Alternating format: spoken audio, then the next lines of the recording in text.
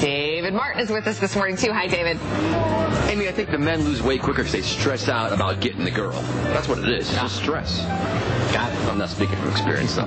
Hey, good morning to you. We're celebrating National Salad Month, and my four new friends want to say to you. Welcome to Sweet Tomatoes! That was interesting. Take a step forward.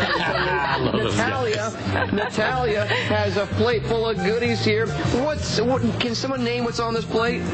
Um, cauliflower, bean, cauliflower, um, uh, What's this red one? What's the red one right here? I don't know. I'm with him, David. I don't know either. Like radishes.